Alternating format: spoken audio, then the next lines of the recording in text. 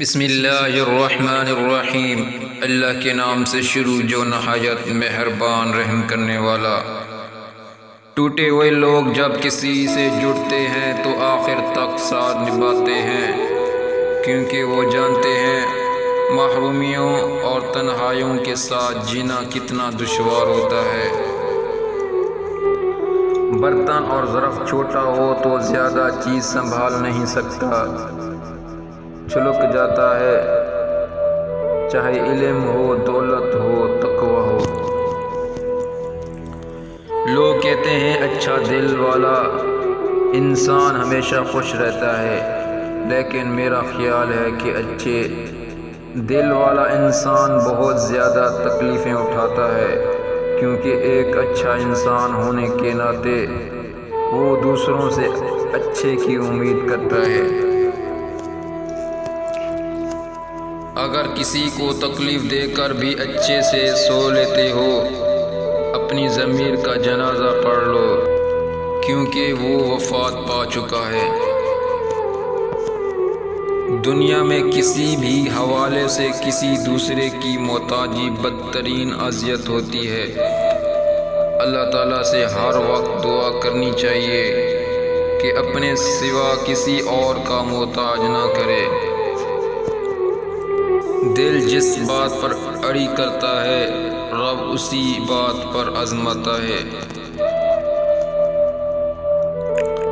इंसान को खुदा तभी याद आता है जब वो दर्द का मारा हो, गर्ज का मारा हो, या फिर मर्ज का मारा हो।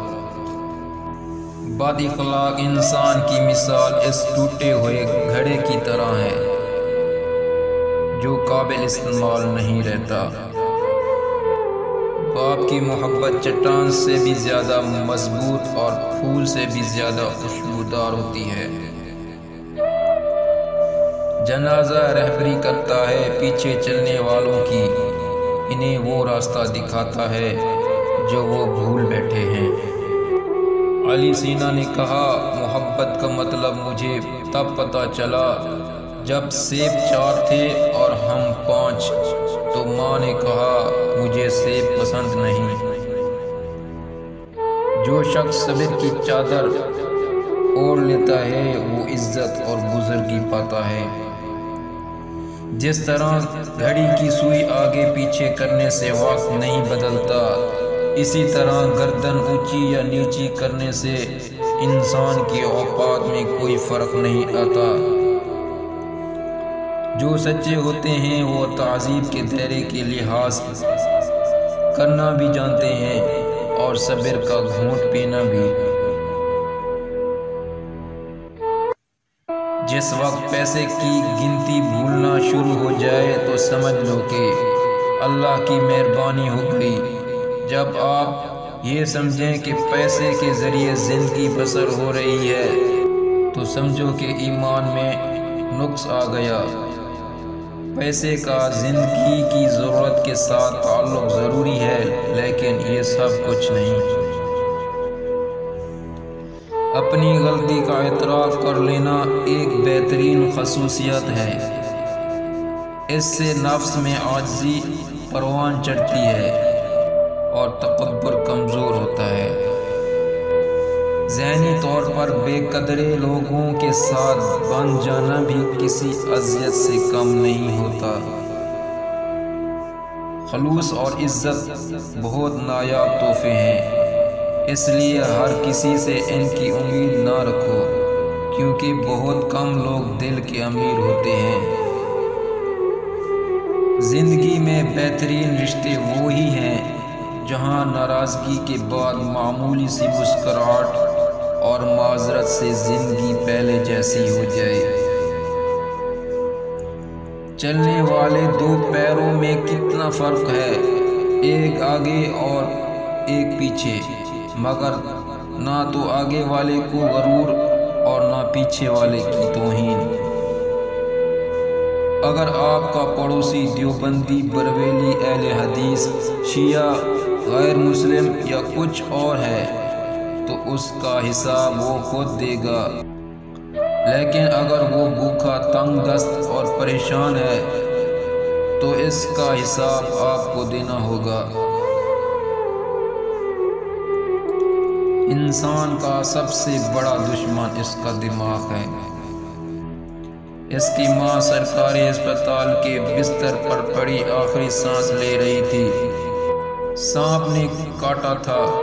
डॉक्टर आया तो उसे इशारे से पास आने का कहा। डॉक्टर ने कान करीब किया तो बोली, कोई सस्ता सा टीका लगाना मेरे बेटे की जेब खाली है। जिस तरह लोग मुर्दे को कंधा देना अफजल समझते हैं, इसी तरह अगर ज़िंदा को सहारा देना अफजल समझ लें तो ज़िंदगी कितनी आसान हो जाए। अच्छे हैं वो लोग जो ज़िंदगी की तलखियों की वजह से खुद तलख नहीं होते, जो मुस्कराते हैं और हल्के फुल्के अंदाज में बात करते हैं और सुनते हैं। यकीन जानिए, ज़िंदगी इन्हीं लोगों की वजह से खूबसूरत है। अल्लाह पाक हमें दूसरों से हुसन, इखलाक से पेश आने की तौफीक अता फरमाए। आँसू हर दिल को नहीं पिघला सकते। ये फ़कत इन दिलों पर असर अंदाज होते हैं, जिनके दिल में अल्लाह बसता हो। लोगों को टमाटर, आलू, प्याज में तो अल्लाह के नाम नज़र आ जाते हैं, पर आँखों के सामने अल्लाह के बंदे नज़र नहीं जैसे जैसे उम्र गुजरती है, एहसास होने लगता है। वालदेन हर चीज़ के बारे में सही कहते थे। बात हमेशा तमीज़ से और एतराज़ दलील से करो, क्योंकि ज़िबान तो हैवानों के मुँह में भी होती है, मगर वो इलम और सलीके से मरूम होते हैं। किसी को खुशी देना सदका है, मगर किसी को दुख देना वो कर्ज है। जो आपको एक न एक दिन ज़रूर मिलेगा किसी और के हाथों।